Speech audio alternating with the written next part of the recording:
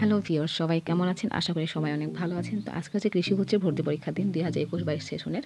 তো আমি আর আমার কয়েকজন ফ্রেন্ড মিলে আমরা এসেছি আসলে আমাদের এই জোনে কোনো হেল্প লাগে কিনা সেই জন্য তো এসে দেখি স্টলে আসলে অনেক লোক বসার জায়গা নেই। তো আমরা সবাই মিলে ক্যাম্পাসে একটু ঘুরলাম, আশপাশের পরিবেশ দেখলাম।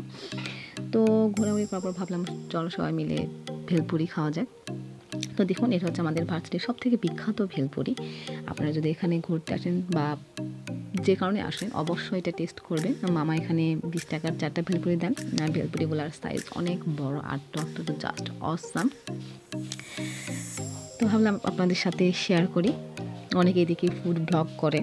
তাই ভাবলাম আপনাদের সাথে এই ছোট্ট ব্লগটা শেয়ার করি। আশা করি সবার অনেক ভালো লাগবে।